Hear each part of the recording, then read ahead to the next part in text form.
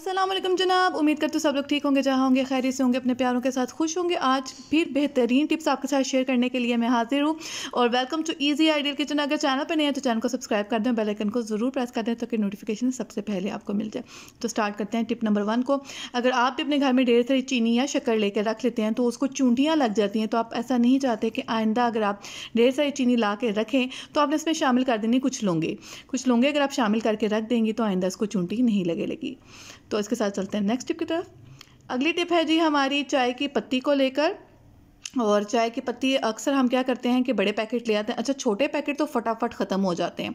आ, लेकिन जब हम बड़े पैकेट वगैरह लेके आते हैं तो उसको हम बार बार जी जो छोटी डिब्बी होती है हमने किचन के अंदर रखी होती है इस्तेमाल करने के लिए तो उसके अंदर हम बार बार इसको डालते हैं और निकालते रहते हैं। तो इस क्या होता है कि जो चाय की पत्ती होती है उसमें थोड़ी सीलन आ जाती है और इसका जो अंदर मॉइस्चर सा आ जाता है।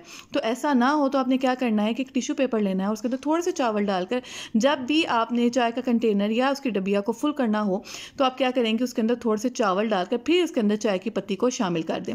जैसा कि आप वीडियो में देख रहे हैं, इस तरह करने से क्या होगा कि अगर आप चाय का बड़ा पैकेट यूज़ करते हैं और बार बार आपकी जो चाय की डब्बी है, वो खाली हो जाती है क्योंकि हम छोटे छोटे घर में यूज़ करते रहते हैं तो ऐसा करने से जी जो चावल है, उसके मॉइस्चर को ऑब्जॉर्व कर लेंगे। इसके साथ चलते हैं। अगली टिप की तरफ़, अक्सर हम घर में पराठे वगैरह बनाते हैं तो जो बेलन के साथ चकला होता है, वो बड़ा ज़्यादा जी घिस जाता है। उसके जो नीचे, उसके बॉल्स या टायर्स वगैरह लगे होते हैं तो वो घिस जाते हैं। तो जी रोलिंग पिन तो हमारा सही चलता है, लेकिन रोलिंग बोर्ड जो है, हमारा घिस जाता है। तो जब भी हम इस पर रोटी बेलने की कोशिश करते हैं तो क्या होता है कि रोटी ऊपर उसके डिस्को शुरू कर देती है। यानी कि जी, बेलन इतना ज़्यादा हिलता है कि आप बिल्कुल फेडअप हो जाते हैं।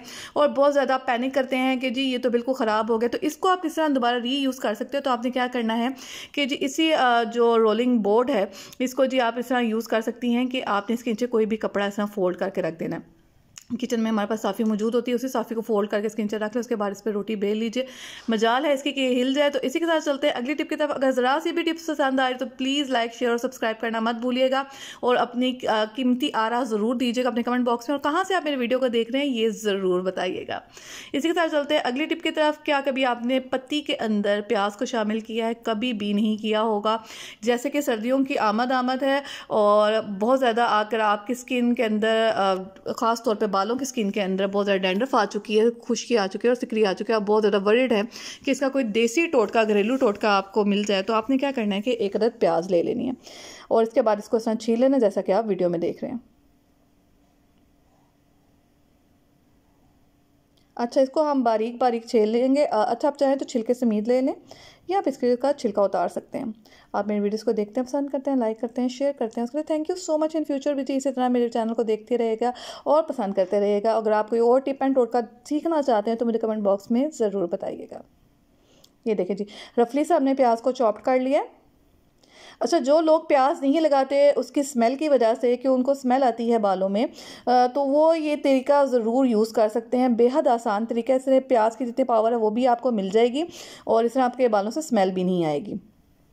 ये देखिए देखिए, हमने डब्बा ले लिया, जिसके अंदर हम इसको बॉईल कर लेना है। इसी के साथ अब हम इसमें शामिल कर देंगे एक गिलास पानी का, एक बड़ा गिलास पानी का आपने इसमें शामिल कर देना है।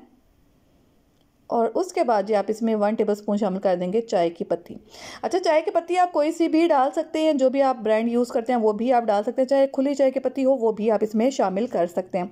ओके जी, अब हम इसको बॉयल करेंगे पाँच से सात मिनट के लिए, ताकि जो प्याज है, इसकी जितनी भी पावर है, इस पानी के अंदर शामिल हो जाए।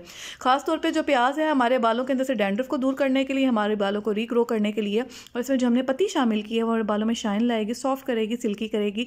तो इस तरह आपके बहुत से बालों के जो मसाइल हैं उस देसी टोटके को यूज़ करके बिल्कुल दूर हो जाएँगे। आगे कुछ वेदर भी इसी तरह का आएगा। मैं इसको पाँच से सात मिनट के लिए बॉयल कर लूँगी, उसके बाद आपको दिखाती हूँ।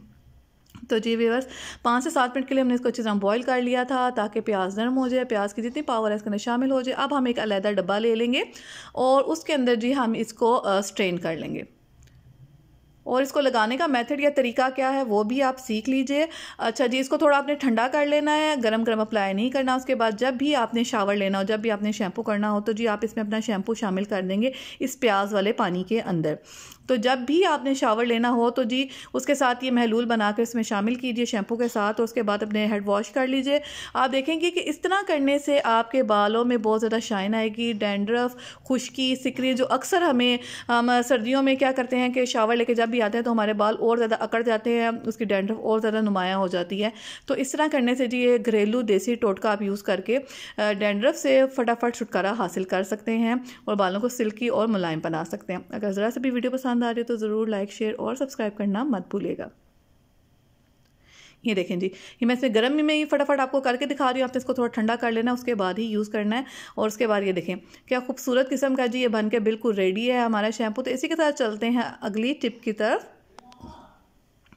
अगली टिप है जी हमारी आटे को लेकर या मैदे को लेकर। आटा या मैदा जब हम घर में ढेर सारा ले आते हैं तो उसके अंदर क्या होता है? सुसरी लग जाती है, छोटा बारीक कीड़ा लग जाता है। तो अक्सर आप देखते हैं कि जैसे कि मैंने आपको बताया कि चाय की पत्ती में सीलन नहीं आए, चीनी के अंदर भी चूंटियाँ ना आए तो इसकी टिप भी मैं आपके साथ शेयर कर रही हूँ। और इसकी तरह अगर आटे के अंदर या मैदा वगैरह के अंदर सुसरी वगैरह आ जाती है या छोटा कीड़ा लग जाता है, अनाज का जो कीड़ा होता है तो आपने इसमें क्या शामिल करना है? आपने इसमें चुटकी भर मीठा सोडा शामिल कर देना है, ठीक है? अच्छा ये मेरे पास हाफ़ के जी था मैदा तो मैं इसमें हाफ़ टी स्पून शामिल कर रही हूँ बेकिंग सोडा अच्छा इसको शामिल करने से क्या होगा? बिल्कुल हाफ़ टी स्पून मैंने इसमें शामिल किया। आप तकरीबन दो चुटकियाँ कह लें, इसमें हमने शामिल कर दी है और इसको आप इस तरह रख देंगे तो इसमें कीड़े वगैरह शामिल नहीं होंगे। अच्छा जी बेकिंग सोडे की तादाद आपने थोड़ी रखनी है। इस तरह आप करने से क्या करेंगे कि जी, इसमें जो कीड़े वगैरह वो शामिल नहीं होंगे। इस आटे को आप बेकिंग के अंदर यूज़ कर सकते हैं, क्योंकि मैंने मैदे के अंदर इसको किया। अच्छा जी, अगली टिप है हमारी प्याज को लेकर। अगर आपको भी प्याज काटते वक्त बहुत ज़्यादा आँखों में आँसू आते हैं और आप बहुत ज़्यादा वर्ल्ड रहती हैं और आपको प्याज काटना बेहद मुश्किल लगता है तो प्याज काटने से पहले थोड़ी देर पहले इसको फ्रीज़र में रख दीजिए, ताकि अच्छी तरह ठंडी हो जाए। दस से पाँच मिनट के लिए आप इसको फ्रीज़र के ऊपर वाले हिस्से में रख दीजिए और फ्रिज के अंदर इसको रखने के बाद आप निकाल के काटेंगे तो आप देखेंगे आइंदा आपकी आँखों में आँसू नहीं आएँगे। इसके साथ चलते हैं अगली टिप की तरफ़। अगली टिप है, हमारी चावलों को लेकर अगर आपके घर में भी ढेर सारे चावल आते हैं और चावलों को भी कीड़ा वगैरह लग जाता है तो आपने क्या करना है कि जब भी आपने चावल स्टोर करके रखने हो तो आपने उसमें कड़ी पत्ता शामिल कर देने हैं। करी लीफ शामिल करने से क्या होगा कि इसमें कीड़ा वगैरह नहीं लगेगा। आप जितने मर्ज़ी चाहे चावल स्टोर करके रख सकती हैं। अक्सर हमारे घरों में क्या होता है कि जी चावलों की बोरियाँ वगैरह आ जाती हैं, जिन लोगों के घर में ज़्यादा चावल इस्तेमाल किए जाते हैं तो उनके चावलों को कीड़ा भी लग जाता है। तो ये वाला टोटका इस्तेमाल करेंगे तो इन आइंदा ऐसा नहीं होगा। तो चलते हैं जी अपनी फाइनल टिप की तरफ़, जो कि है मटरों की टिप जैसा कि सर्दी का मौसम है, ढेरों मटर आए हुए हैं, बाज़ार में सभी घर में मटर का पुलाव, आलू मटर या आलू मटर की सब्ज़ी वगैरह इस तरह की चीज़ें बनाई जा रही हैं। सूप वगैरह में शामिल किया जाता है। तो मटर छिलना बहुत ज़्यादा मुश्किल हो जाता है और अक्सर हमें ढेर सारे मटर ही छीलने पड़ते हैं, जो भी खाना बनाना उसमें शामिल करने के लिए। तो मटर छीलते वक्त क्या होता है कि जी हमारे हाथों के नाखून बहुत ज़्यादा दुखते हैं, मटर फटाफट नहीं छिले जाते तो आपने क्या करना है उसको किसी भी बड़े कपड़े पर फैला लेना, उसके बाद इस पर आपने जो झाड़न वगैरह होता है किचन का, वो डाल देना है, उसके बाद अपनी स्त्री को गर्म करके इसके ऊपर फेर देना है। तीन से चार मिनट के लिए तेज़ गर्म इस्त्री करके आप इसके ऊपर फेर देंगी और उसके बाद जब आप इसको मटरों को छीलेंगी तो आप देखेंगी कि जो मटरों का छिलका है, वो बहुत ज़्यादा आपको आसानी हो जाएगी उतारने में। क्योंकि मटर जो होते हैं, वो थोड़े गीले गीले होते हैं, उतारते वक्त हमारे नाखूनों में फंस जाते हैं वो बहुत ज़्यादा दर्द होती है जब आपने ढेरों मटर छीलने हो।